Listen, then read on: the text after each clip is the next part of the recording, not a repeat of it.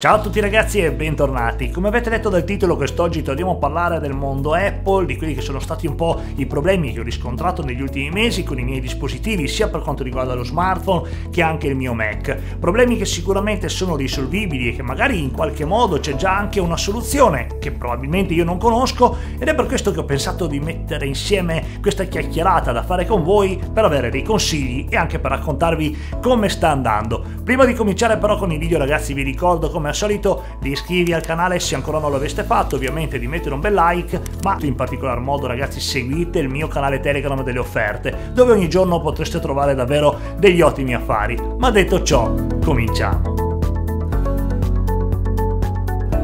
Ci tengo a precisare ragazzi che il video di oggi non è una critica nei confronti di Apple o nel mondo Apple perché io ho tutto all'interno del mio ecosistema di Apple, sia il mio iPhone 12 mini che l'Apple Watch che l'iPad Pro e anche un MacBook Pro da 16 pollici. Comincerei da lui, dall'iPhone 12 mini, mi ha accompagnato durante le ferie estive di quest'anno, avete visto un sacco di foto, ma il primo problema, quello che ho riscontrato o meglio, che sto riscontrando parecchio negli ultimi mesi e che ha riscontrato anche mia moglie è la ricezione del dispositivo. Ho l'impressione che sia diminuita nei mesi rispetto all'inizio. Io ho Vodafone, mia moglie ha Team, ma in entrambi i casi, nonostante abbiamo due operatori completamente differenti, gli smartphone non hanno la ricezione che avevano mesi fa. Ed è per questo che sto facendo questo video perché voglio sapere la vostra, se anche voi avete notato con i vostri iPhone una ricezione inferiore rispetto ad un anno fa, otto mesi fa. Ragazzi, ho preso anche la mia SIM Vodafone, l'ho messa sul dispositivo Android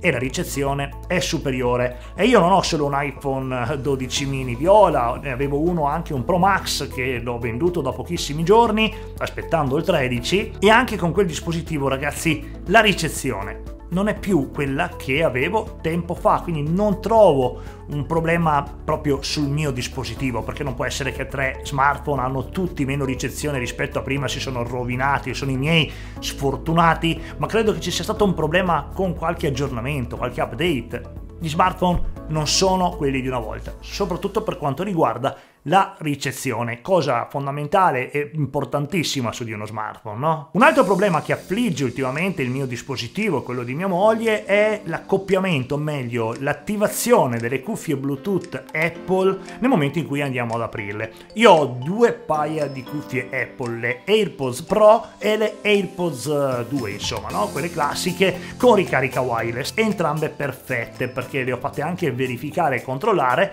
ma capita in modo non per forza continuativo, può capitare una volta ogni due o tre giorni, una volta alla settimana, che tu vai ad aprire le cuffie, loro risultano connesse allo smartphone, ma in realtà in cuffia non si sente nulla. Dobbiamo comunque telefonare o comunque la musica parte dagli speaker dell'iPhone. Questo succede abbastanza regolarmente, la cosa poi strana è che disattivando, riattivando il Bluetooth ricominciano a funzionare e poi magari dopo un paio di giorni la stessa cosa e questo è un po' snervante soprattutto se utilizziamo le cuffie per telefonare, ci arriva una chiamata, tiriamo fuori le cuffiette, le indossiamo, rispondiamo alla chiamata e non si sente nulla. Come al solito ho fatto tutte le varie prove, no? Quindi ho disattivato, riaccoppiato, reinserito, controllato, caricato, ma questa è una cosa che succede abbastanza regolarmente. Con le Pro, devo essere sincero, mi succede meno, ogni tanto capita, ma succede meno. E un'altra cosa che, diciamo, mm, mi dà un po' i nervi, ma credo che non dipenda solo dall'ultimo update, questa è una cosa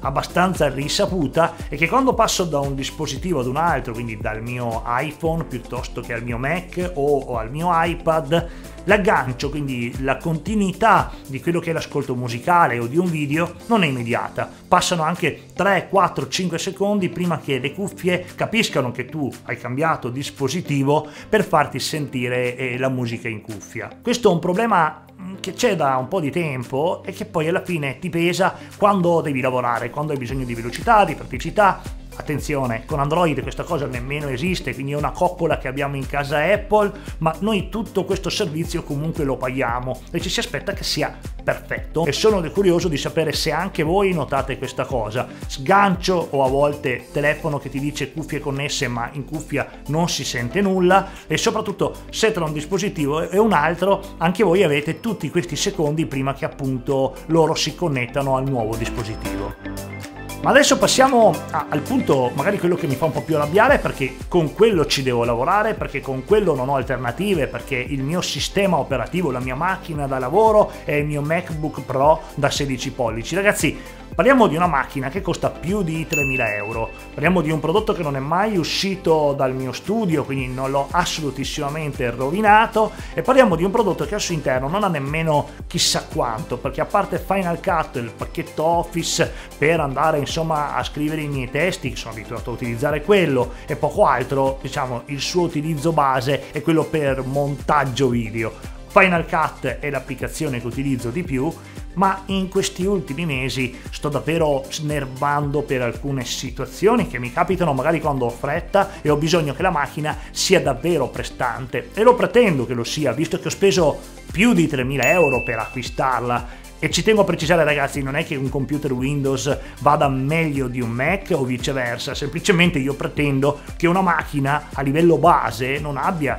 certe problematiche, ma adesso vi spiego meglio. Il primo reale problema, quello che per conto mio non può essere eh, sempre così presente su un dispositivo, su un computer che costa più di 3.000 euro, perché il mio MacBook Pro costa più di 3.000 euro, era una versione praticamente top di nemmeno un anno fa, sono le ventole, ragazzi. Le ventole che sono perennemente accese, come un ventilatore d'estate. Sono sempre lì che fischiano e fanno rumore. Il problema non è tanto quando sto facendo editing video, che lì me lo aspetto, che la macchina vada in sofferenza e che quindi le ventole vadano in qualche modo a, ad aiutare tutto il sistema, tenendolo il più fresco possibile per fare in modo che lui continui a funzionare nel modo corretto, ma è proprio che le ventole entrano così, casualmente, anche semplicemente quando il tuo computer è sopra la scrivania a scaricare un file da internet, cominciano ad entrare e fanno abbastanza rumore, un rumore che dopo un tot di ore che sei lì alla scrivania, dà fastidio, dà fastidio perché a volte ti chiedi ma cos'ha da continuare a fischiare con queste maledette ventole se non sto facendo nulla di particolare. E questo è un problema che poi cosa fa? Va a peggiorare le performance della macchina, lì cominci a vedere il mouse che lagga un pochettino, cominci a vedere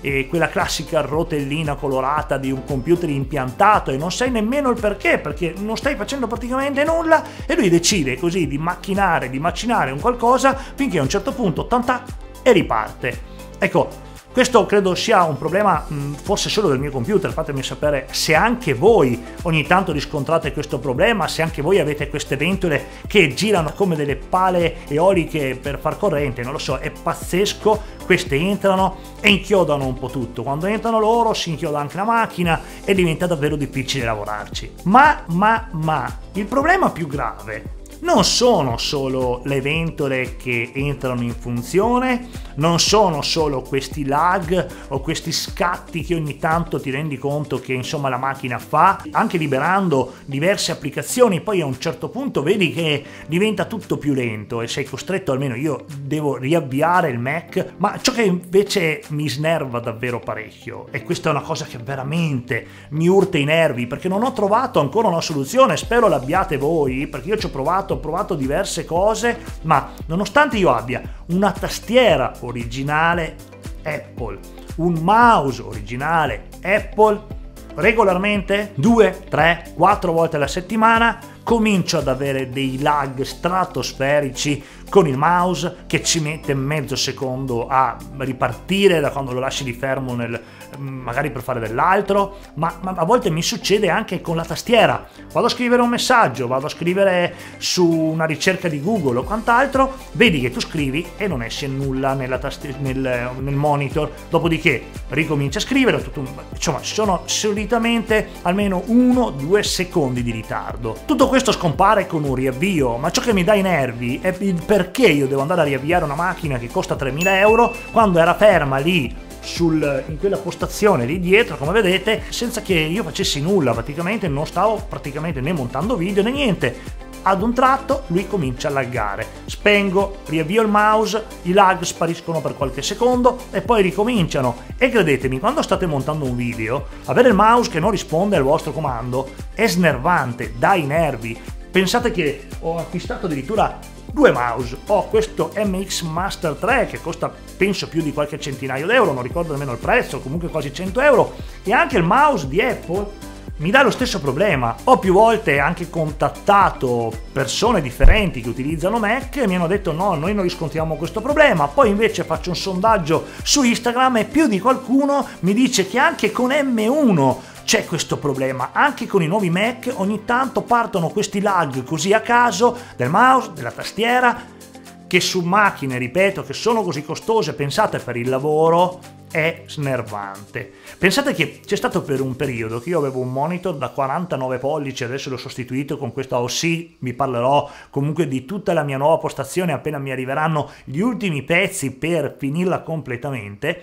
e credevo fosse un problema del mio monitor, del mio Philips, quindi ho pensato, beh, adesso mi arriva questo nuovo monitor e questi problemi spariranno. Invece ragazzi purtroppo no, i problemi persistono, persiste la ventola che si accende, persiste il mouse che lagga, persistono alcuni blocchi che danno davvero fastidio. Attenzione, quando avevo Windows le cose non erano migliori rispetto a questo, eh, per carità, anche là dovevo fare riavvii, ma quello che a volte non capisco è il dover farlo quando la macchina non sta facendo praticamente nulla, cioè mi aspetto di dover riavviare il mio Mac quando sono in fase di editing pesante, che allora in quel caso il computer ha bisogno no? di essere riavviato per, insomma, per avere un attimo di... invece no, lo lasci lì tre ore, lo vai a riaccendere, cioè lo vai a riattivare per fare qualcosa e resta tutto inchiodato. Cioè, qualcosa non quadra. Bene ragazzi, per oggi è proprio tutto, ma prima di chiudere mi raccomando, spero sia chiaro a tutti il racconto di oggi sono mie impressioni, non vuole essere un video negativo nei confronti dei dispositivi Apple, parlo dei miei prodotti e di quelle che sono le mie sensazioni, non voglio che cominci una guerra tra i commenti qui sotto, meglio Windows, meglio questo, meglio quello. Personalmente spero ci sia una soluzione rispetto a quelli che sono i problemi che ho riscontrato con le mie macchine e sono curioso di conoscere insomma anche la vostra idea, se avete un modo, un sistema per aiutarmi a sistemare questi lag e tutto quello che vi ho appena raccontato. Io per oggi vi saluto e noi ci vediamo presto per un'altra chiacchierata sempre qui all'interno del mio canale YouTube. Ciao ragazzi, nella prossima!